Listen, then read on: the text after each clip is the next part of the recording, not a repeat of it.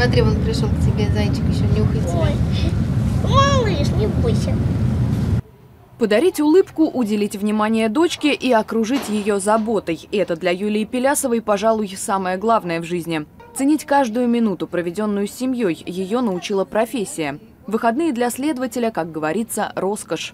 Работа в Следственном комитете, конечно, и особенно работа следователем, это, естественно, не пятидневный рабочий день. Это ну, фактически семидневная рабочая неделя, 24 часа в сутки. Но, тем не менее, стараешься находить время для ребенка. Стараемся выбираться куда-то на улицу, проводить активное время. На лыжах катаемся, на коньке ходим кататься. Ходим в зоопарке, ходим в различные, на различные спектакли, чтобы ребенку было интересно. Несмотря на столь юный возраст, пятилетняя Лера знает, как тяжела и трудна работа сотрудника силового ведомства. О работе мамы она рассказывает с гордостью. Моя мама работает следователем, защищает хороших людей от плохих. Тети и дяди маме рассказывают, что они натворили. Мама на работе очень проводит много времени. Я люблю свою маму и хочу ее вот совсем поздравить с этого э, женского дела, когда наступит 8 марта.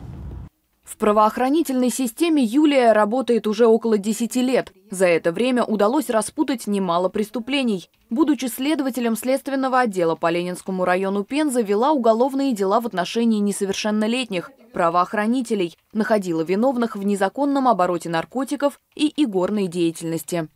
Насколько я себя помню в сознательном возрасте, я всегда мечтала работать следователем – Всегда мечтала расследовать уголовные дела, ловить преступников. Для любой женщины, наверное, 8 марта, как несмотря на то, что это сотрудник или это гражданский работник, всегда этот день очень радостный, ожидание каких-то подарков, ожидание улыбок и всего самого наилучшего, конечно. В канун Международного женского дня Юлия Пелясова мечтает, чтобы никто не пошел на преступление. Тогда она сможет отметить праздник в семейном кругу.